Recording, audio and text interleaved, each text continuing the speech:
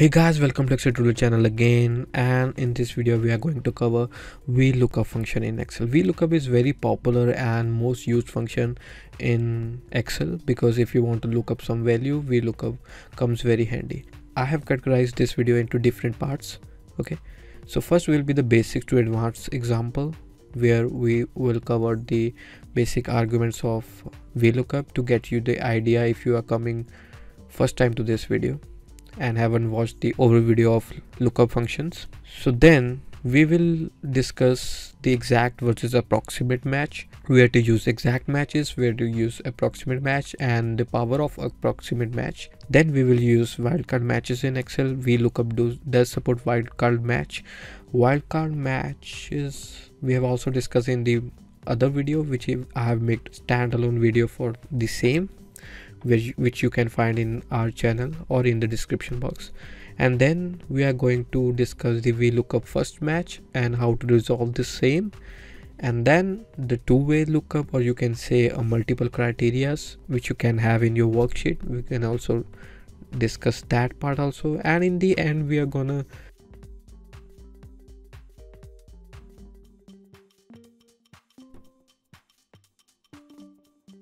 discuss various errors occurs. Actually the main error is any error not applicable ever which you can incur while typing the vlookup function. You can cover that with the help of helper function. So mainly we are going to discuss various scenarios under vlookup function in this video. So if you haven't watched that overview video of lookup function do that. And if you want to subscribe to this channel please do it because in the upcoming days we're gonna cover each and every function in detail. So let's get started so here we have very basic here. In the first part we are going to discuss various arguments of VLOOKUP function through the basic example. Here we have the roll number 1 to 12 here which I have used in the drop down list which you can create with the help of data validation. And here we have the first name the last name and email. So here we have the box which is the sorting box you can say. We need to find first last and email with the help of the roll number which is selected here okay. So in the first part in the first name let's just type our formula. So we have the VLOOKUP here. In the first argument we have the lookup value which will be this. We need to find this value in this particular table. Okay. So first thing first we VLOOKUP wins vertical lookup. It will look up vertically and to the right. Okay.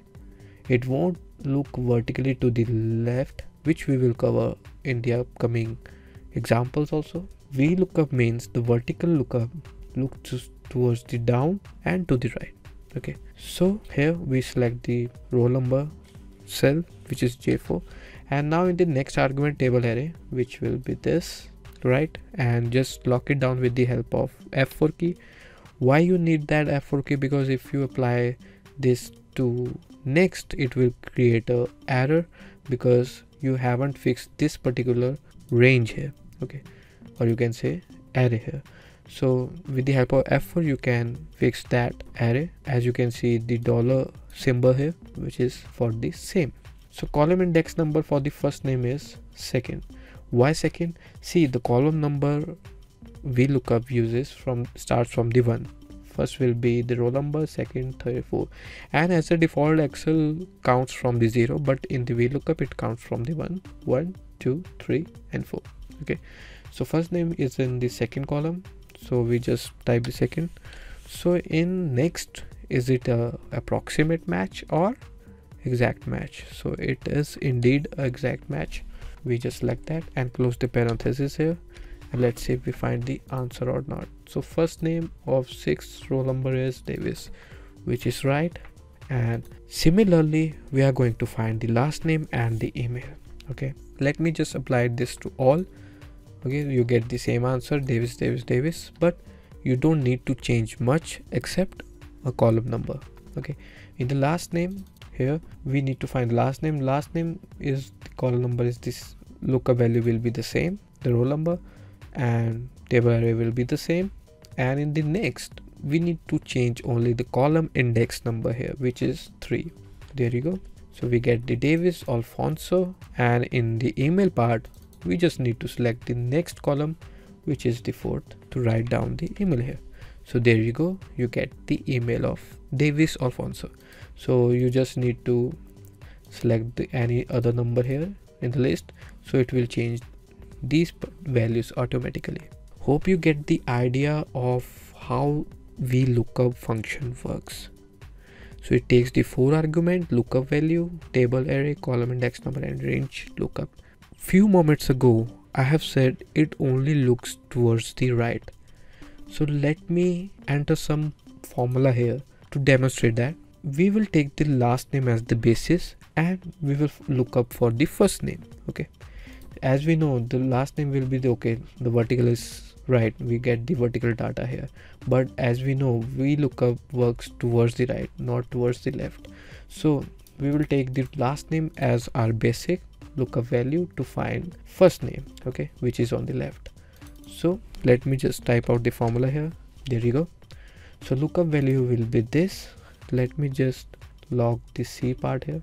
And in the table array we just need to select the table array like this. Log this and the next part the column index number. Column index will be the first. And now see the outcome. Here we will select the exact match close down. So we get the not applicable. Why? Because we have looking up the value of last name for first name which is on the left side of the selected cell. So it won't revert anything except errors like this. So there you go. If you apply to these next cells you get the same so hope you get the idea how VLOOKUP function works until now and how it works like from the vertical to the right not to the left. And to resolve to the left part you can use other functions which is xlookup all index and match. And for the both i have covered in the hindi language. If you know the language you can see the video in the description box. So in the next part we are going to cover exact match versus approximate match and i have the perfect example for that. Here we have the data. So if you want to practice along with me you can find link of this sheet in the description box okay? So we have this lettuce etc this is are the products. We have quantity which is quantity sold and we have the price and we have the total sales amount here. And we also have the discount here. And we have the sorting table of discounts which is order 0 to 10 minimum order 0 and discount will be 0% okay. And for the same we have other sorting values 11 to 20 11 minimum and 5% discount. And for the same we on the basis of these particular values we will input the value here. Let's see with the help of exact match we can find or not. Just type the formula here.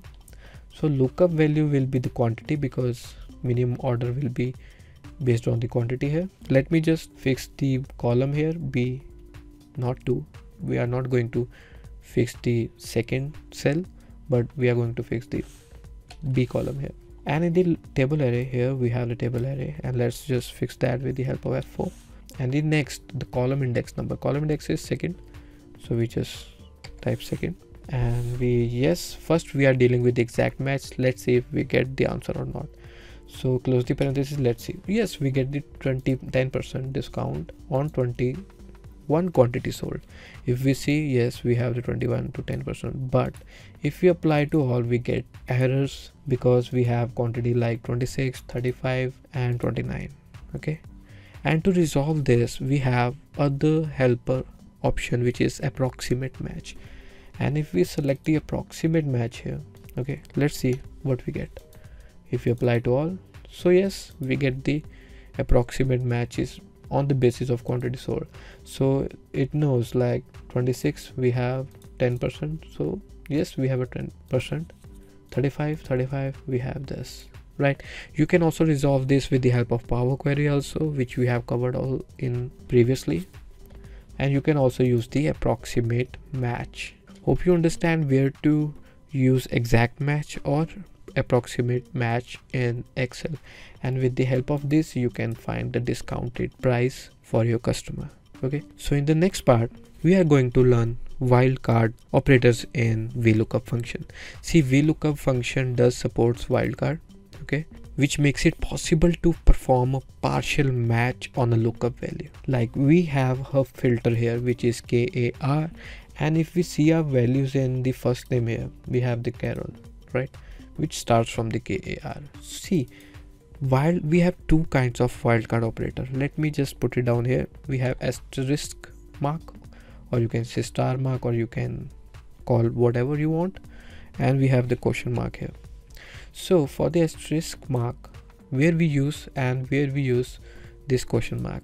See if you want to find any text string after this kar you can use asterisk okay and if you want to find prior to kar you can use the question mark here. Okay? So let me just put it into practice here. VLOOKUP. So lookup value will be this. Let me just put the fixation here.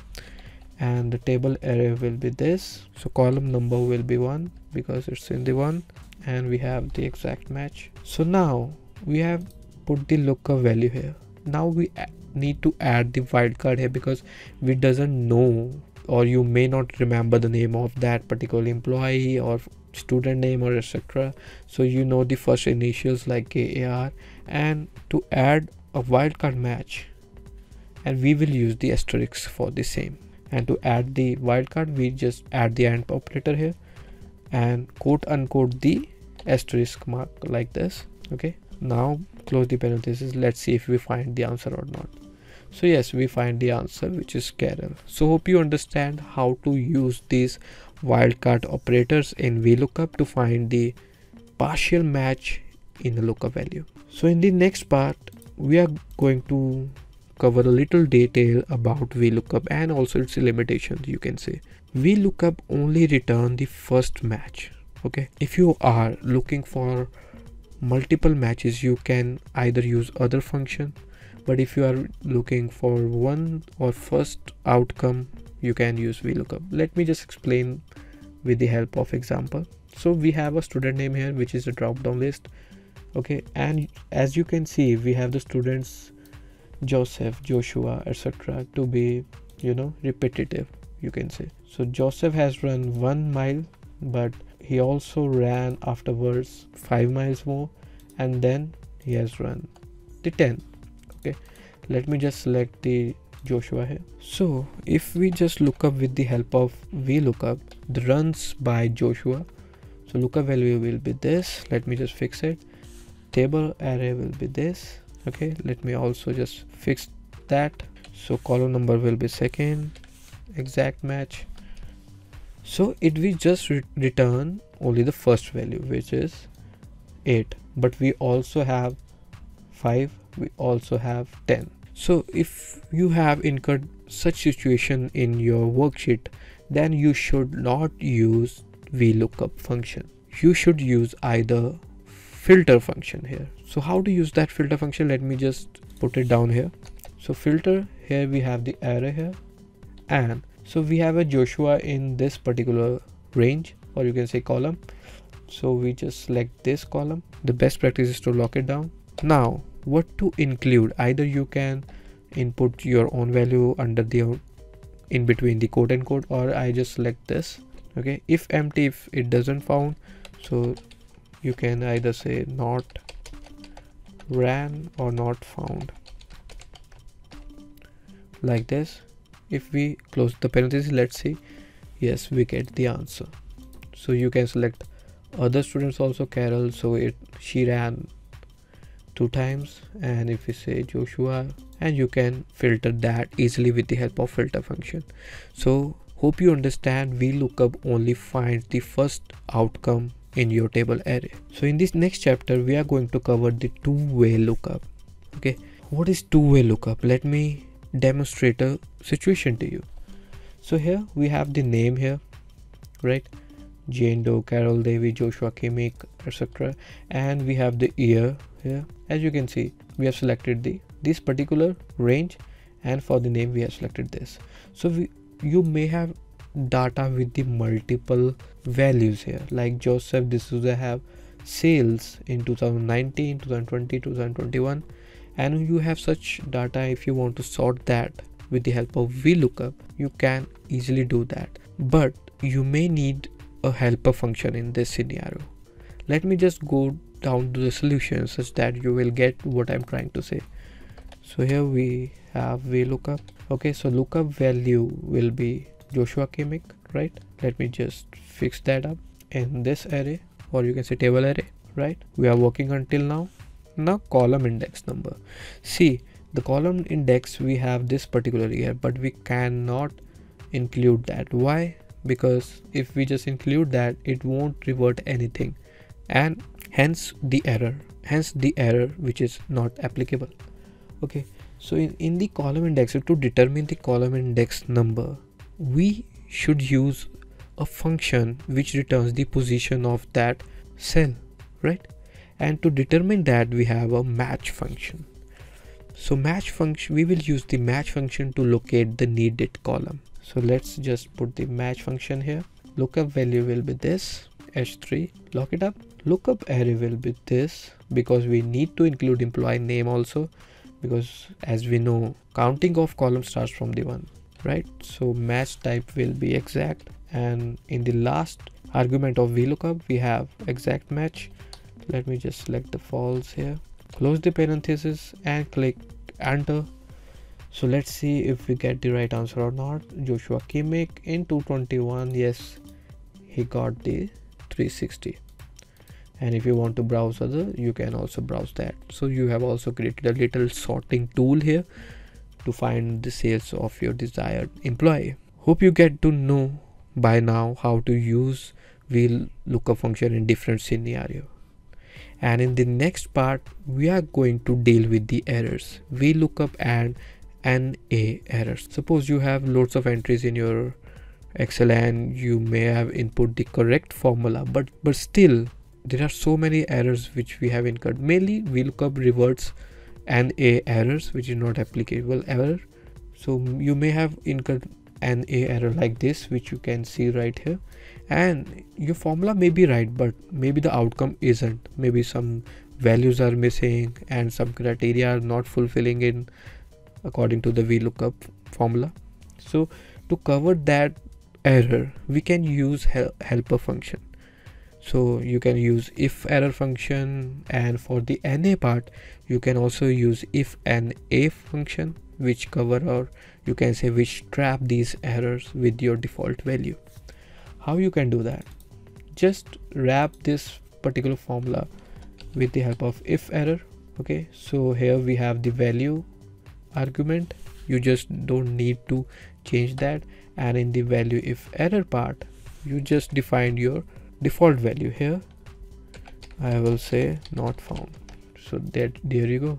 But in our case formula is wrong because we have used the exact match here. And if we apply to true here like this this error will go.